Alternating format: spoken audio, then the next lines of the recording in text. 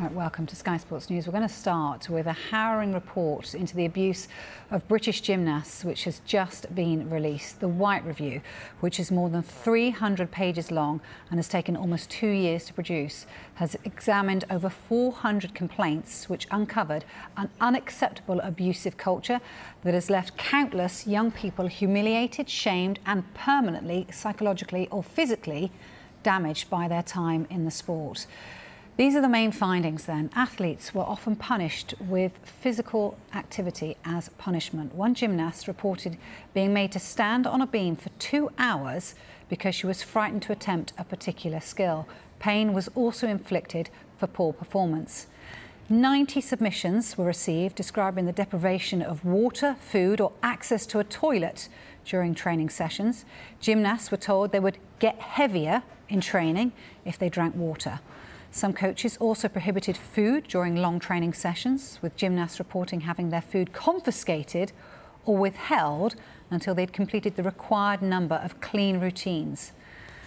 The Whyte Review also heard of numerous reports of gymnasts being punished by being isolated, humiliated, belittled, or ignored in response to perceived failures, Examples include making gymnasts who couldn't compete and move to train with younger gymnasts, with one teenage gymnast being forced to train and line up with preschool class. Children were punished for crying in class, with some often made to watch themselves cry in front of a mirror.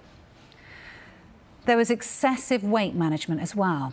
Many have reported long-term health issues, including mental health issues and eating disorders as a result of oppressive weighing activities and excessive dietary restrictions.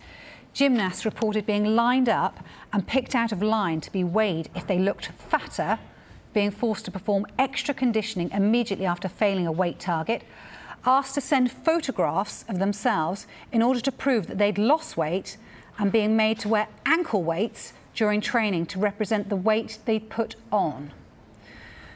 The review suggests overstretching had at times resulted in pain and distress for the gymnasts, sometimes to the point of tears and injury, with coaches using the force of their own weight to extend a particular physical stretch. One individual reported that her coach had sat on her when she was seven years old and her parent reported two coaches at once pushing their child's legs down into splits. The CEOs from UK Sport and Sport England have been giving their reactions to the hugely disturbing findings from this report. Today's report is a distressing and harrowing read, and I think it's appropriate to thank the gymnasts that have come forward and had the courage to share their stories, and for that, I really thank them for doing so. I believe that their courage will affect change in the future.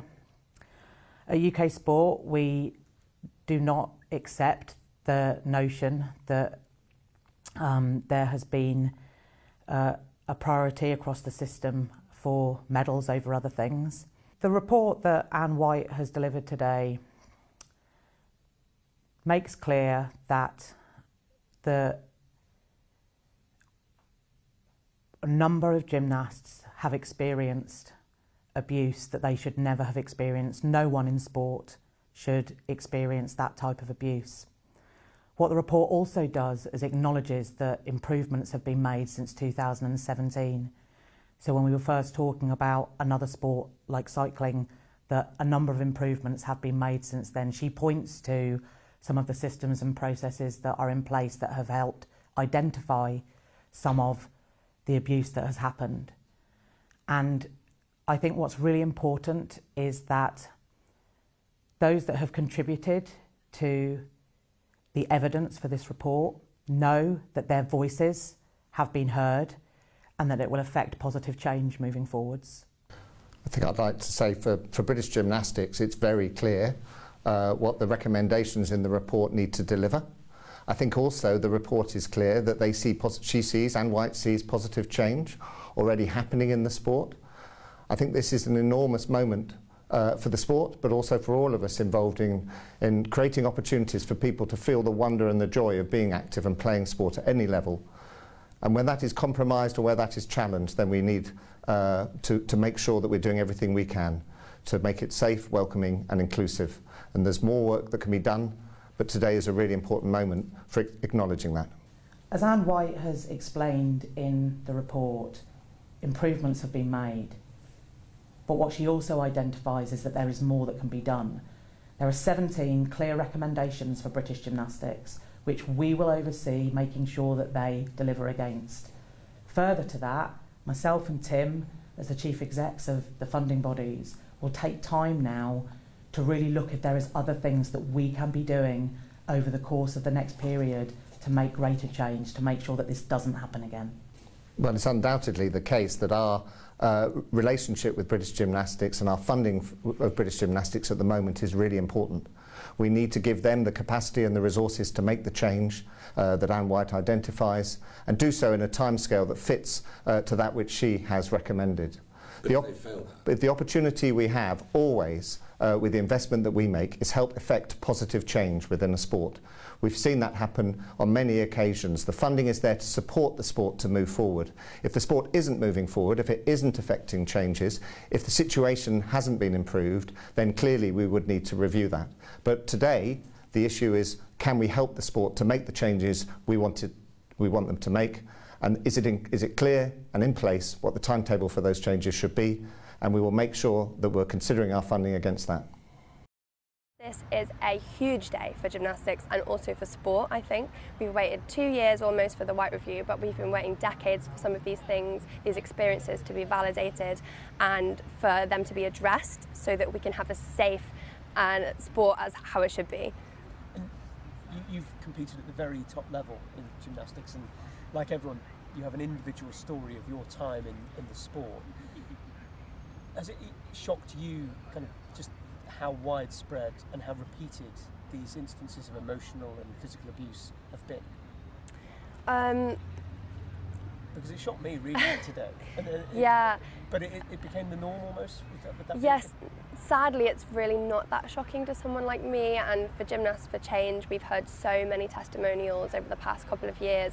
Um, but even before that, I think a lot of people in the community knew how bad the culture was. But the fact that it was so normalised and the fact that there was that culture of fear prevented it from kind of being released. So on a day like today, and we can finally admit how bad it was, we can hopefully move forward and um, have that never happen again. What does that progress look like from your point of view from now? Um, the progress, the cultural change needed is huge. It's so many deeply ingrained issues across the sport. Um, so it doesn't just look like one particular thing, but um, it looks like coaches and gymnasts and parents having an open and transparent relationship, having trust, um, and having gymnasts and athletes' voices be at the centre of the sport, um, it means the change looks like gymnast voices being at the centre and health and well-being at the centre alongside performance, not performance coming first. Because you read the examples of what has happened, and it is child abuse, isn't it? It's, it's absolutely child abuse. I've seen comments online, people saying, oh, they're just not tough enough, they don't understand what it takes to be an elite athlete. It's absolutely uncalled for. As you can see from the testimonials in this report, we're talking about serious physical, in 40% of the cases in the Whyte Review, physical abuse, emotional, psychological abuse that leads to serious trauma, eating disorders, and PTSD, and in some cases, sexual abuse. This is not tough coaching, this is an epidemic of abuse that we're talking about. And do you now have more confidence in British gymnastics and the sporting authorities in the UK that actual effectual change is the only option? Change is the only option. I would, at the moment, not put my future children in the sport. And how can we have a sport that isn't safe for children. 95% of the participants and members of British Gymnastics are children under the age of 18. Um, so we absolutely cannot have a sport in this country that's not safe for those people. And I want children like my cousins who were involved in the sport to feel safe, to feel happy, and to have all the best experience of the, of the sport. Um, because it can teach you such amazing things being part of a sport and being part of gymnastics. But when it's you know not a safe place to be, um, it just you can't risk that.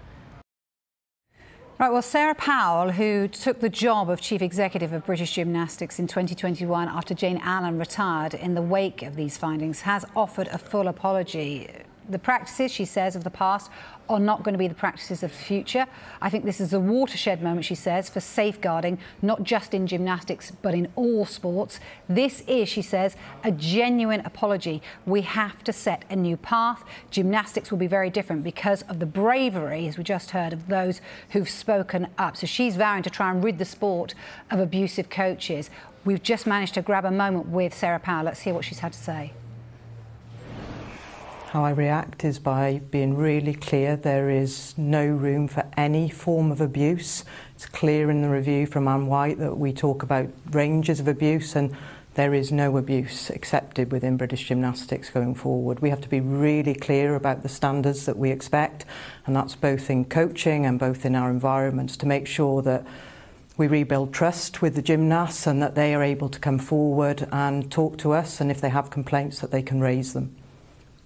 The culture has been so widespread that it's hard to believe that any governing body can get to a point where this has gone on for so long and that these things have just been tolerated and families have had to go through really difficult trauma because of the sport that they love.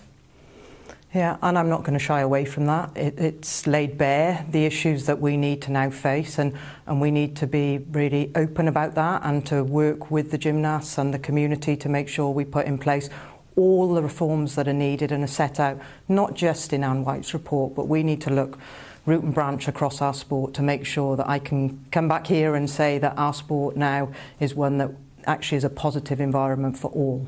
How many coaches have been punished after the fact that, that this has come to light now in such stark examples that have been put forward that clearly overstep the line massively. Yeah, the key thing here is that complaints around coaches are raised and that we deal with these fairly and robustly and if sanctions are right and coaches need to be removed, they are removed and that we're very clear about that and people see that. Coaching is going to be a huge focus for me. We need to look at our coach education. We need to make sure that we have the right courses in place, which are both a mix of technical but also much more around understanding maturation, understanding weight management, bringing experts in to develop a new coach, edu coach education program. Your sport and the negligence of those at your organisation before you joined have contributed to lives being shattered and people suffering from eating disorders, from PTSD it's extraordinary what has been laid bare today. What for you is the most shocking part of this report? There's too many shocking parts to this report, and it, and it clearly shows that it's not just one thing that I'm going to have to get right. I'm going to have to look at so many different elements. I mentioned coaching, that's really important. The culture, so that people can speak up. I need to work with parents so that they have an understanding of what's expected, both you know within the environment, but I need to put the gymnast very much at the centre of the solutions going forward. No coaches, as we know, have yet been punished. Does that have to happen to enable the sport to move on? We have to have the right coaches with the right cultural attitudes to move forward. So if there are coaches that don't have that, then they must be removed from our sport. What do you say to the parents of a seven-year-old boy or girl today who is going to a gymnastics club tonight, fearing now the culture they're stepping into? Well, I say I hope you're not fearing it. It's really clear within the review that the, the vast majority of gymnastics is, is delivered in a really positive environment. It is a great experience. It's really important, our sport. That's why I've become the CEO. Physical literacy, those first introductory moments. And I want children to come and enjoy gymnastics and make sure that they have that great experience. And if they can, they go on to international success. I say to those parents, please get involved, understand the culture within your club, and make sure that that is a positive and safe one for all of your children and enjoy our sport. And finally, British Gymnastics has been singled out here as a failing organisation, one that's been insular and focused on financial rewards rather than the culture within the sport. Is it fit for purpose? It needs huge reform, and I'm here to lead that reform, and, and I am committed to doing that. I will take all of the recommendations from Anne Whyte's review and I will look wider than that to make sure that this sport is fit for purpose going forward. Okay, Sarah Powell there. Well, here are the Whyte's Review's reform recommendations. The safeguarding and welfare of gymnasts, which includes to reassess the level of responsibility delegated to volunteers in the sport and employ sufficient staff with appropriate professional expertise. Plus, offer high performance gymnasts and their parents access to an independent disclosure service and dedicated welfare officer. Next, complaints handling. Ensure the system for complaints is fit for purpose, requires all clubs to have a complaints policy for safeguarding concerns and ensure all welfare related complaints about employed coaches are independently investigated. There should be a director of education to oversee the education and training of coaches.